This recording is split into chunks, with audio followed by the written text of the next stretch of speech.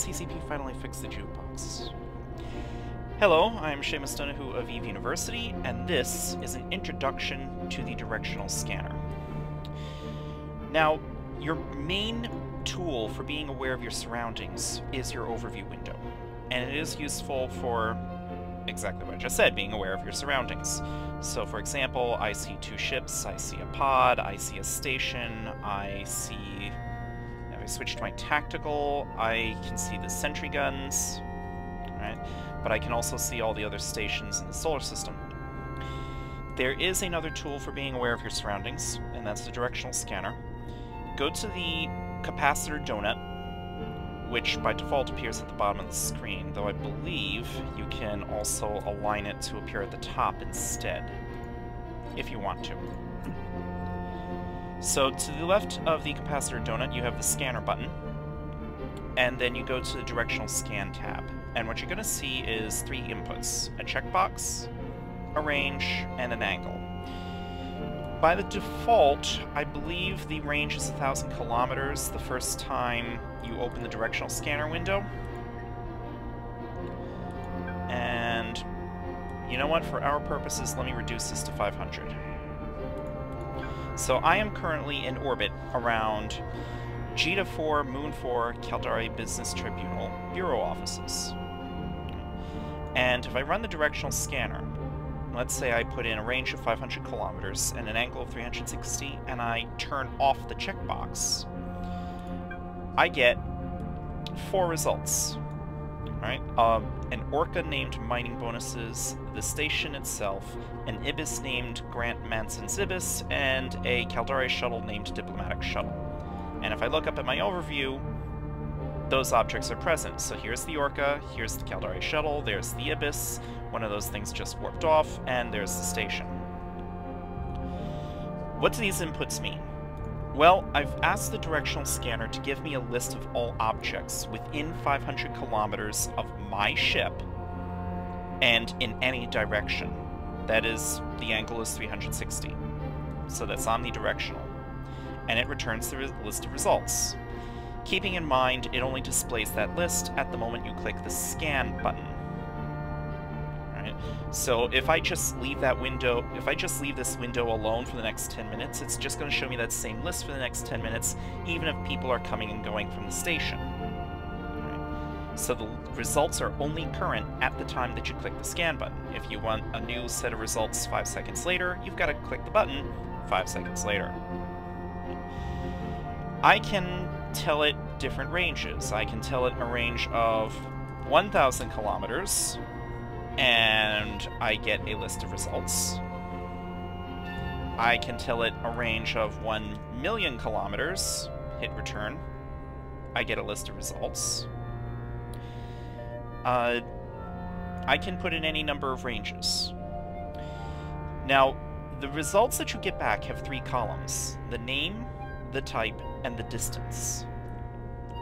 Now, the distance field will be blank unless you can already see the object on your on your overview. All right. So, for example, uh, all these moons, I can see the distances from me to the moon on directional because if I go to my everything overview tab, there are the moons. Jita 4, Moon 1, distance of 361,000 kilometers. And here on the list of results, Jita 4, Moon 1, 361,000 kilometers.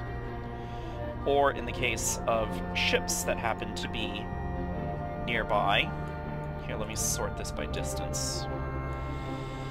Player ships that are nearby, there's an Ibis 256 kilometers from me according to directional, but I can see that same Ibis on overview. So the distance is only shown if the object is already visible on your overview. If it's not visible on your overview, the distance is left blank. You're only told that the object exists. How is this useful?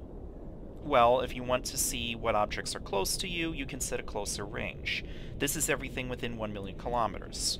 Again, if I go back down to 500 kilometers, well, actually that's more like the size of the grid. If I go up to 800 kilometers, uh, then I can see a list of all objects within 800 kilometers of me. For example, there's a Scorpion Navy issue and a Fenrir class Minmatar freighter somewhere within 800 kilometers of me.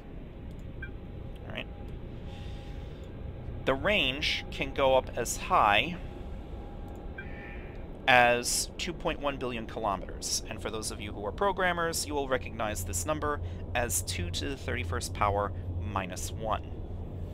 So 2.1 billion kilometers. This comes out to about 14.35 astronomical units. Some celestial objects are more than 14.35 astronomical units away. So, for example, if I look at Stargate Maurasi, I can see that on the overview. It's a celestial object. I can see it from anywhere in the solar system because it's a Stargate.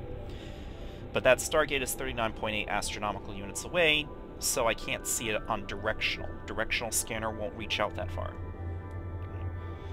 Uh, JITA 5 Moon 17 Caldari Construction's production plant, however, is within directional scanner range, and let me scroll down through here. JITA 5... Where is that? Hold on, let me sort this by name. JITA 5, Moon 17, Caldari Constructions Production Plant. Alright, so that's within directional scanner range. Now, the thing to know about directional scanner is it detects the presence of any sorts of objects, most particularly combat scanner probes and player ships. That's what most people use the directional scanner to try to find. How do you do that? Well, I've already mentioned the range. The other thing is the angle. Right now the angle's set to 360. That means it's omnidirectional. It's giving me a list of all results within a sphere uh, 14.35 astronomical units in radius centered on my ship. But suppose I only want to look in a particular direction. I can change the angle. I set the angle to 15 degrees, now all of a sudden I'm not getting any results. What does this angle mean? Well, when the angle is not 360, directional scanner focuses its scan on a particular cone. Your ship is at the center, is at the tip of that cone. And which way the cone points depends upon which way your camera is facing. So for example, if I turn my camera to face the station over there and I click the scan button, I can see the Ibis and the station on the list of results. That's because that the station and the Ibis are within uh, the cone at least as I'm pointing the camera. If I move the camera over here, then those two objects disappear from the directionals. Well, if I move the camera and then click the scan button, those two objects disappear from the directional scanner because they're not within 15 degrees in front of the camera. So let me aim the camera over at JITA 4 in the distance. And I will click the scan button. So now I see a whole bunch of results. Uh, there's JITA 4 Moon 9. Where is that? Oh, JITA 4 Moon 9 happens to be right in between us and JITA 5. Interesting. But anyway, I can see that besides the celestial objects off in that direction, there's also a small standard container. There's three other small standard containers and somebody's shuttle. So I can see that on directional. If I aim the camera, let's see, if I aim the camera at JITA 3, and the way I'm aiming this, your ship is always in the center of view. Unless you're using the advanced camera options, but usually your own ship is in the center of view. So you move the camera so that your ship is in between the camera and what you want to scan. So there's JITA 3, the center of the screen. I scan, and what I see over there, besides the planet and the moon, I also three, see three small standard containers. So I can scan particular objects in a particular... I can scan in a particular direction if I don't want the complete list of junk that's all around me. Click the scan button again, and look, I am looking at Jita 4 Moon 6 and somebody's frozen corpse. Apparently somebody was pod killed over there, and the corpse is still... of that capsuleer is still floating in space. That capsuleer has since reincarnated in a different body, and is flying around somewhere. But anyway. Uh, if I aim the camera over at Caldari Navy Assembly Plant, and I click the scan button, I now have an entire list of junk. Alright, so that suggests that all of these objects that I'm seeing on directional scanner are near that station.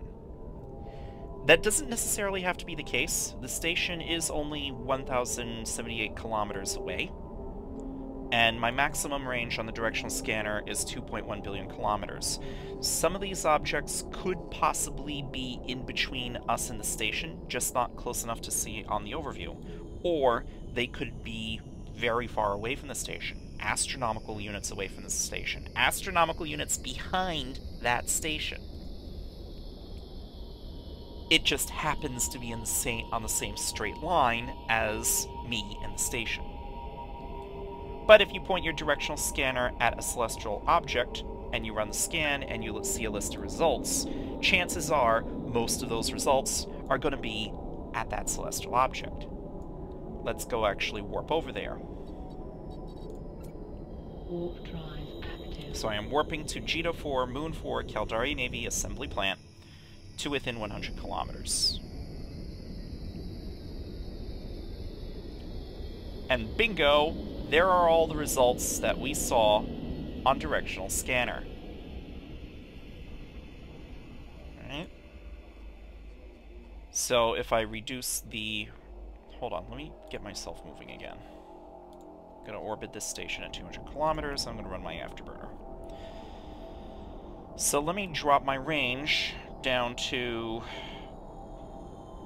let's say 500 kilometers, and omnidirectional. And here are all the results that we were looking at before. And now that they're actually on grid with us, we can see them on overview. Now we have their distances on the directional scanner. Alright.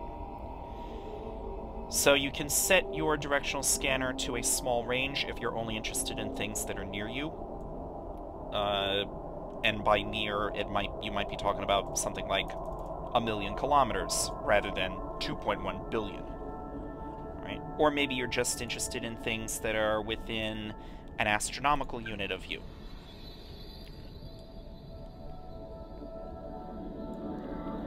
And if you want to go looking for things, you can change the angle and scan in particular directions.